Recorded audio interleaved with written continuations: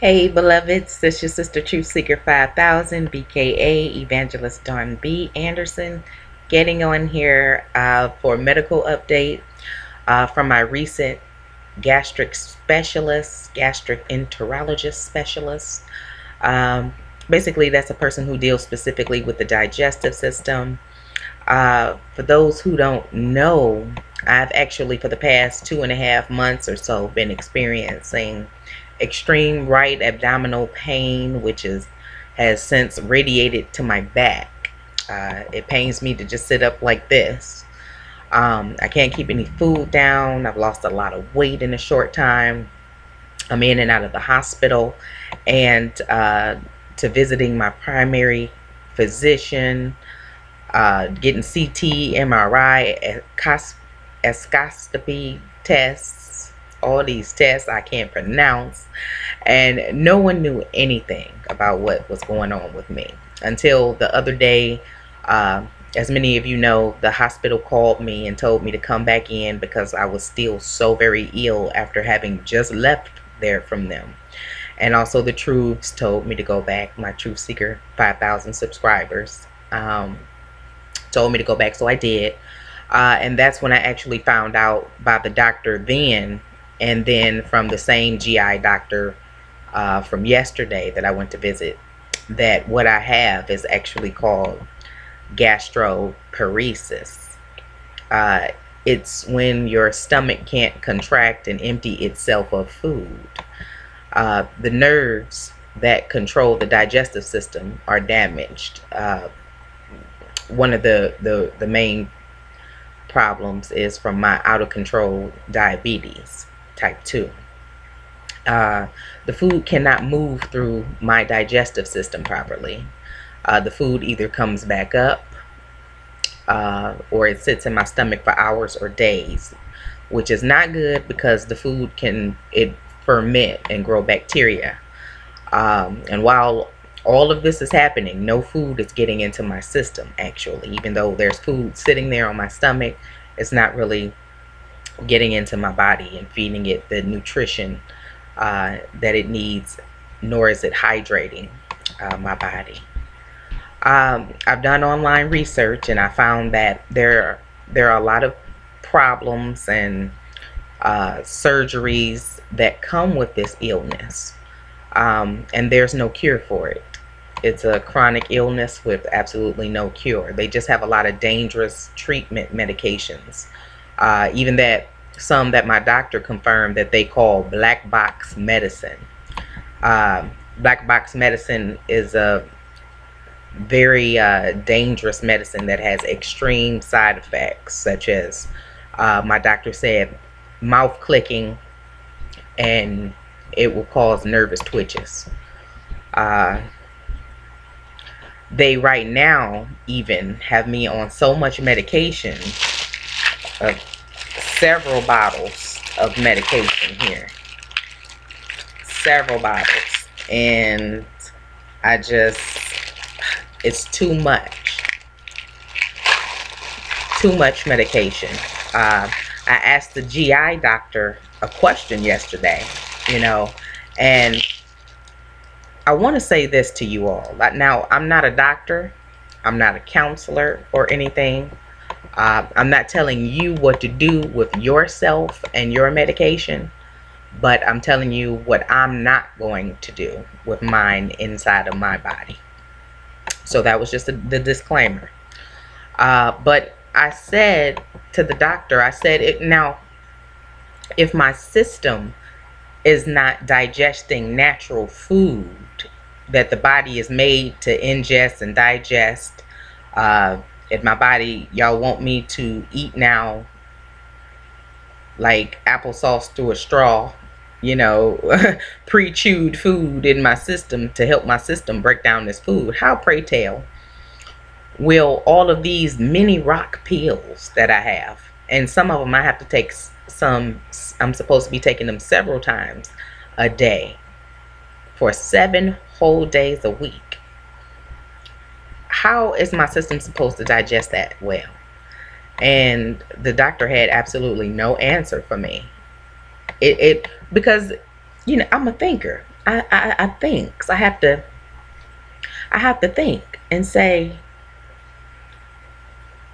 I can't digest natural food. But all of these pills, okay, and a lot of them is not even working for me anymore. I mean, and whatever it was supposed to been doing, it's, it's not doing it. And I have to take these every single day. How are those pills going to digest? You you you don't have to be a, a scientist or a medical, you know, marvel to understand or come to the conclusion that all of those pills they don't really digest in your system they rock up okay and lock up somewhere some of those pills um, you know i did a test where i've you know put some in a, a glass of pop or you know and let it sit there and it did not you know dissolve. I stopped taking these pills.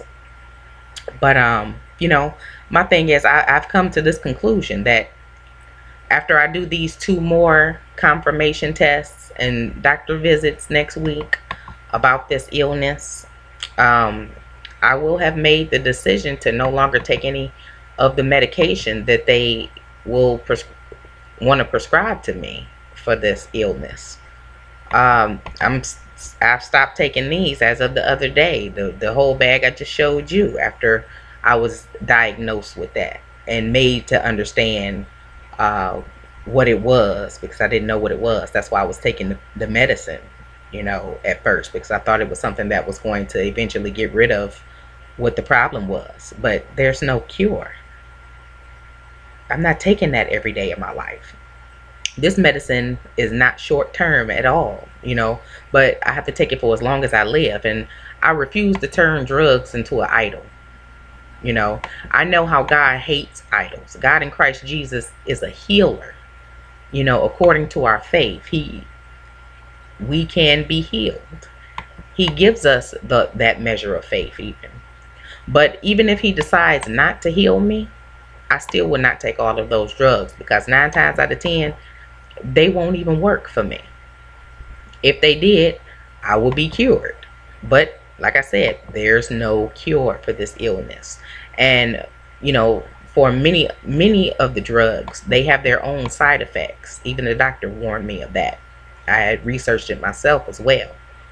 So it means I will then need to take more drugs for the drugs that I'm taking already to calm the new symptoms that are worse than my original symptoms. Now, I don't feel like there's nothing wrong with you taking a vitamin pill daily or blood pressure pill to regulate your blood pressure. I have high blood pressure too or taking your diabetes insulin, you know, a day. But when the excess of the other drugs make you start making you dependent, you know, and you're taking all of these drugs, so many bottles and so many, it it becomes a problem. You know, plus many drugs open up gateways to demonic possession. Now, even though a believer cannot be demon possessed, it's impossible. If you have the Holy Spirit living in you, you cannot be demon possessed. Uh, but we can be bothered by the demons. So I refuse to live like that. Jesus said that I have come that you might have life and have it more abundantly. I don't believe this is what he meant for a believer. I'm a believer. I'm a follower of and servant of Jesus Christ. So it is to him that I stand or fall to. So whether I live healthy from him healing me or I die like the many others with this illness have with the illness, I'm going to do it in faith. I'm not in control. He's in control. Like I said, even if I do take all of those drugs, there's no cure. I'm just deteriorating from the inside out at a slower pace. Just basically, I just basically be living to die. You know, I'm going to overlook my insurance policy, life insurance policy, and see what I if I can even get an increase or I'm going to prepare my family with more specific instructions on what my will is after I die, such as where I want to be buried and the fact that I don't want a funeral. You know, if if you guys can't be there, I don't want to have one. You know, there's really only like one handful of people I would want to come if I did want a funeral anyway. Plus, honey, you know, where I am going, I'm I'm alive. I'll be alive. Jesus promised me and you a home and a mansion. That's where I'll be. You know, I'll be back with him and the rest of the saints back here later. Okay? So no tears are necessary. Don't come to no no gathering for me with tears. You know, where are the tears and prayers and word of encouragement and, and kindness from any of them now? You know, that I'm going through what I'm going through, or even just to check on me if if my family did not know what I was going through, and, and so-called friends, which many have been found to be friend frenemies that I had to let go recently. You know, but I'm not bothered because I, I live a secluded lifestyle. You try to try to keep out of drama mostly. You know, I came in this world by myself and I will die and make that transition over to the other shore alone. So I'm good. I'm at peace with it. You know, I know that I what I have done and you know with my life, I don't regret living my life, uh, spreading the gospel these last 15 years of my life. Um, I've I fought the good fight. Uh, of course, I don't want to live the rest of my life out in pain. I'd rather live it out on the road evangelizing. But whatever the will of God is, you know, it's up to Him. If Jesus say, "Well done, good and servant," you faithful servant, you've done enough. It's your time. Pack your bags. Get your spiritual bags ready. You're going home. Then out of faith, that's what I'm going to prepare to do. I'm not trying to hold on to this world. This world is getting ready to pass away. You know, and I really don't want to be here in this this abomination ball of abomination any longer than I have to be. You know, my whole agenda has been since I've been uh, working for the Lord has been I want to do what I'm put here to do and when my job is done, I want to go. And that's just how I feel about it, you know. So, like I said, this is just my view and my wishes for my life. You know, some people may still fear uh, not taking a drug because if they don't, doctors and people say they're going to die. But my thing has always been see, I, I don't do threats. See, death can't threaten me or put me in, put fear in me you know, to make me submit to doing something that will so called prevent the death from happening. Jesus has already defeated death and hell for us, saints. Okay, we have nothing to fear on God's green earth because nothing can destroy our souls but God. So He's the only one whom I have my eye on and my faith in. Okay, when faced with this diagnosis, I had to ask myself, what would Jesus do? You know, would he have taken all of these drugs and or would he have had faith in the Father for a healing? Exactly. God tells us in the Bible 365 times to fear not. That is one reminder for every day that we live, every day of the year. So I will not fear. And I encourage you all not to fear anything but God in Christ Jesus either. It will be okay. So don't cry for me, but continue to pray for me as I do for you guys. Stay strong. I'll stay strong. You guys are helping me to stay strong. I just want you to know that because sometimes we do get weak. You know, I'm not superwoman. You know, sometimes I, I do get down. I do get weak. And, you know, it's God that brings you guys in, you know, with that love and encouragement when I'm feeling down or somebody into your life when you're feeling the same way. You know, I have to tell you guys uh, that I have had times where uh, I was down and, you know, just really feeling out of it. But I read your comments and your words of encouragement and it just touched me and it, it helped lift me back up, you know.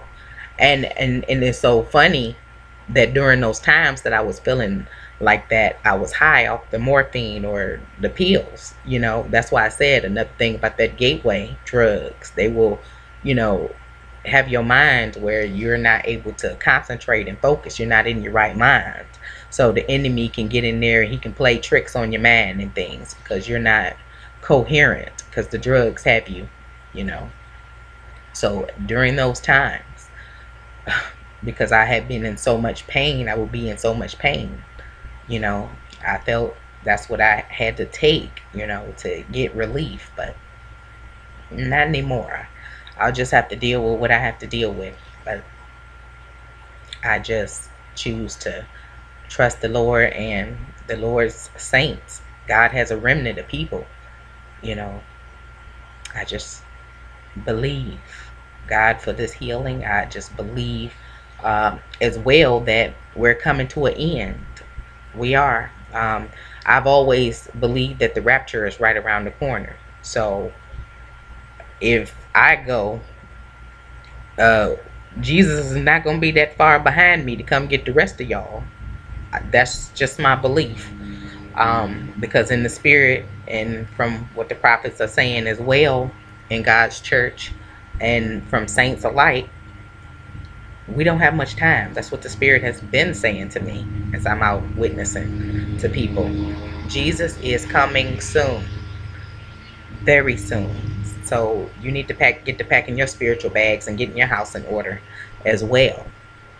Because uh, remember, First Thessalonians 4.16, he's going to come back with the shout of an archangel. He's going to come down to earth and he's going to call up the dead in Christ first. If I die, I mean I'm going up first. and then y'all coming up behind me. You know, and we're all going to meet with him in the air and we're going to be with him. We're going to have the feast of the Lamb we're going to have the judgment seat of Christ first.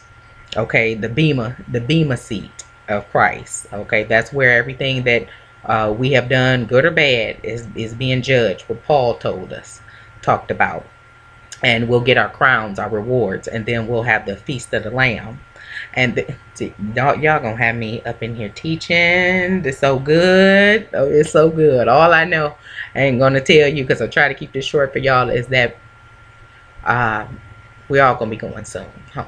So uh, just cross your T's and dot your I's while you're here. Okay. With that being said, I love you so much. You guys stay strong, as will I. And I'll talk to you soon. Blessings, beloveds.